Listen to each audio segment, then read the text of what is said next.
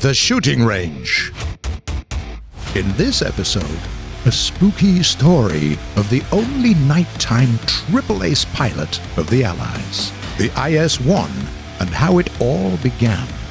Hotline. The developers answer questions that you've left in the comments. But first, let's start with how to switch easily to the new vehicles from the update 1.71.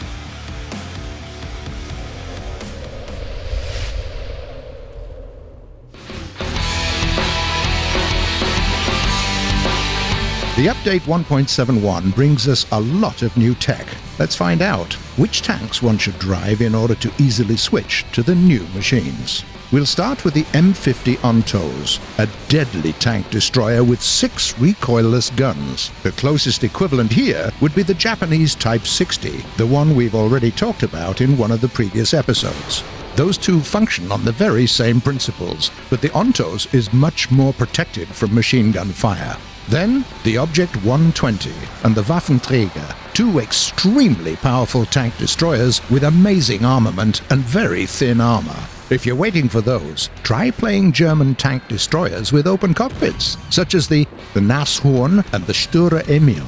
They too should be played with caution and from long distances. Next on the list of the new tank destroyers is the T-114 with an autoloader and recoilless gun.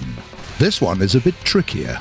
Say, if we combine the Zut 37 and the Chiri 2, or the M18 and the Type 60, the result would turn out as agile, maneuverable, and extremely deadly as the T114. This vehicle is not suited for the gameplay at the front line. Uh, but you already knew that, didn't you?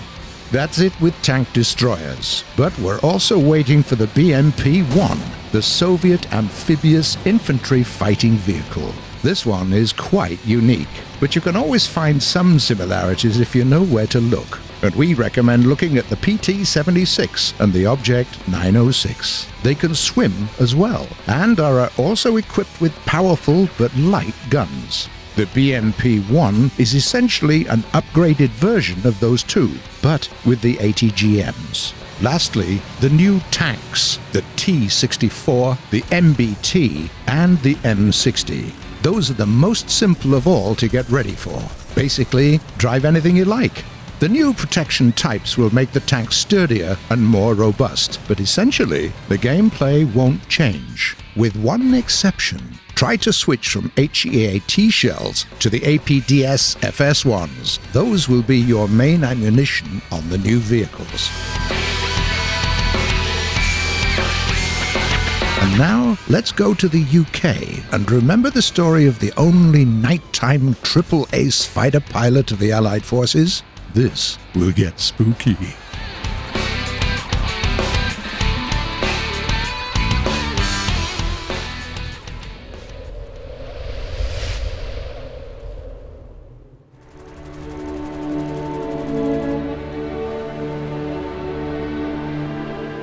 On the Battle of Britain Day, 15th of September 1940, the Germans suffered enormous losses due to the airstrike on London.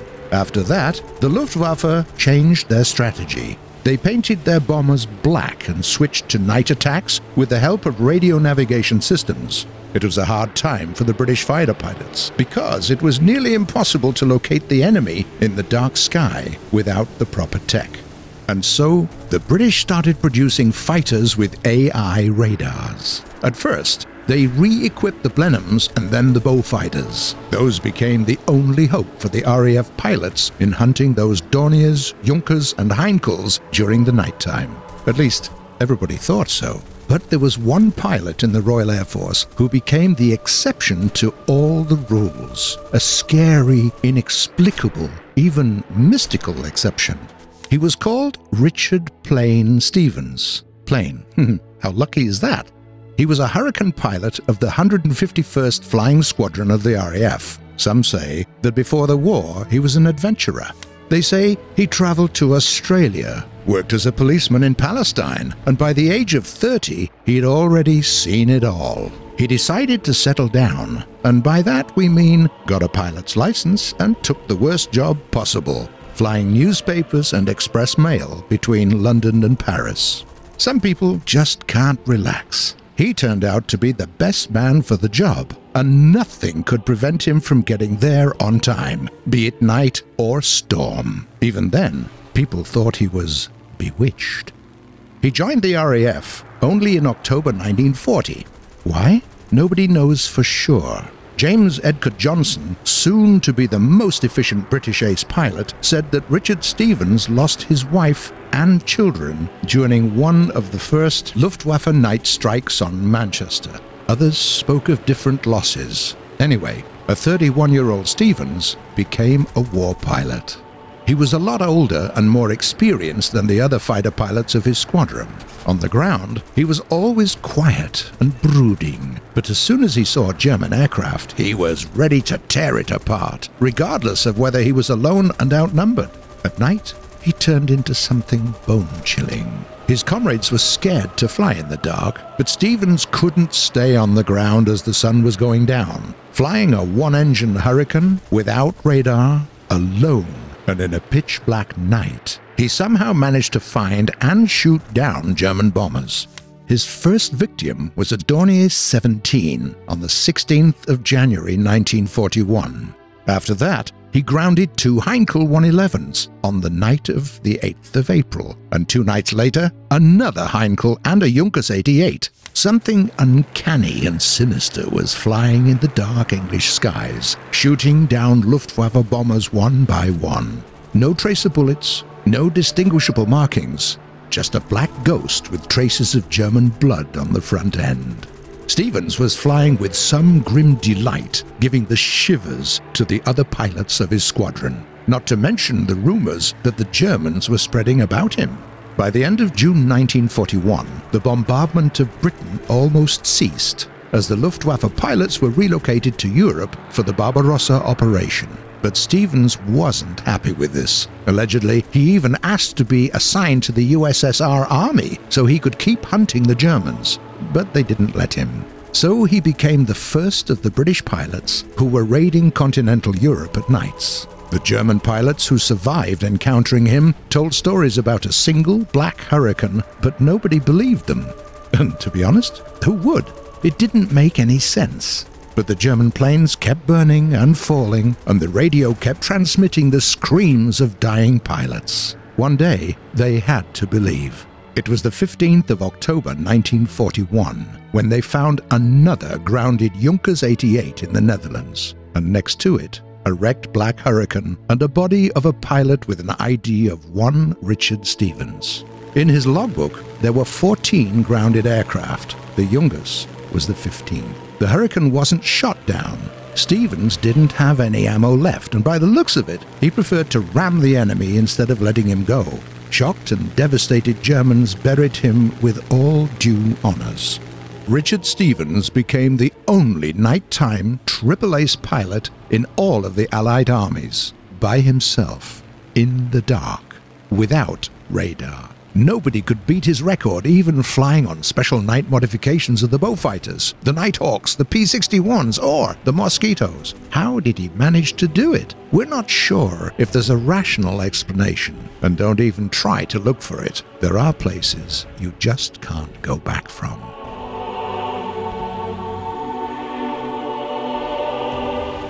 Next, we remember the creation of one of the most famous Soviet tanks.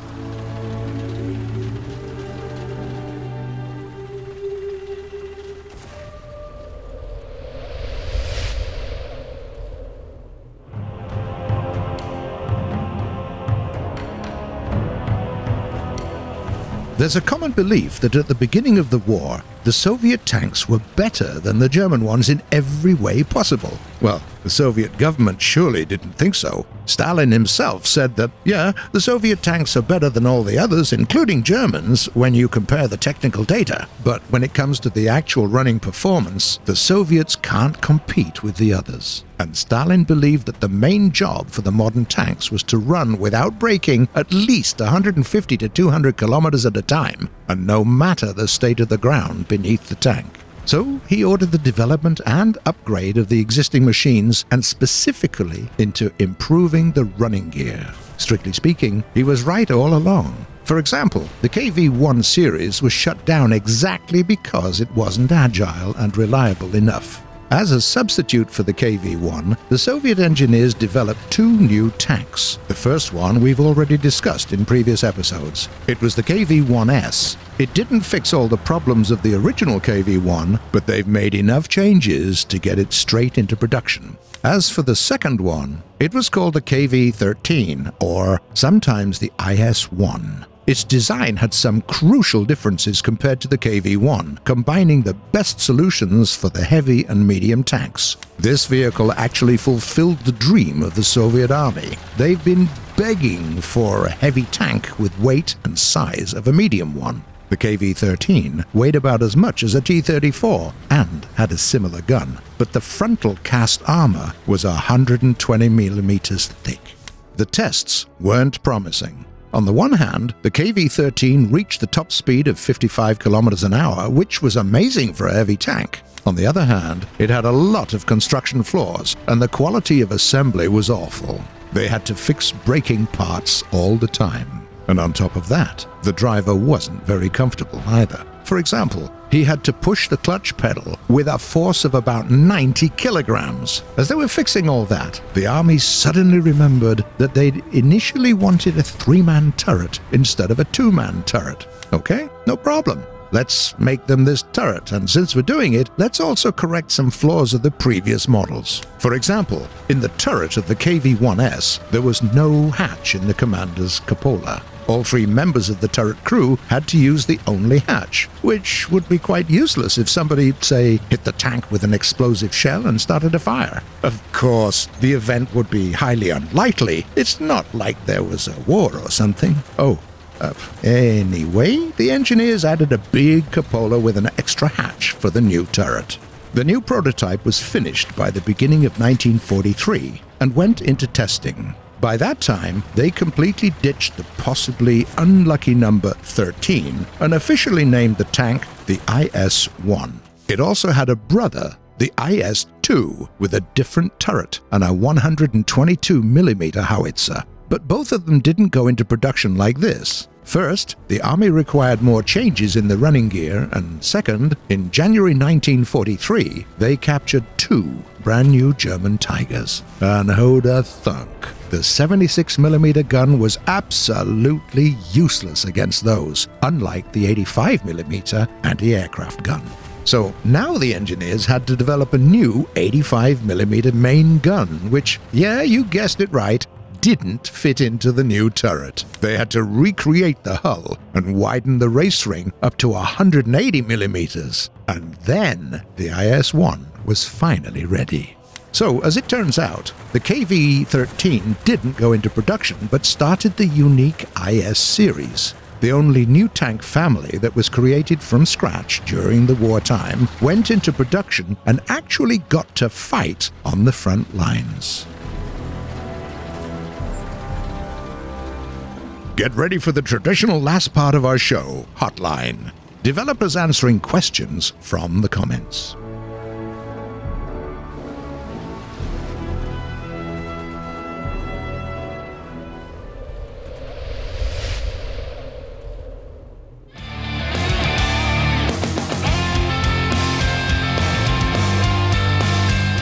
The first question comes from a player called Gaming Saba Saba. Wait, so Germany, Japan, and Britain don't have any rank 6 tanks yet?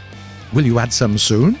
Well, the MBT 70 in the American tree was developed by both Germany and the USA, so it'll be playable for Germany as well, under the name of Kampfpanzer 70. As for the other nations, we'll announce everything when it's done.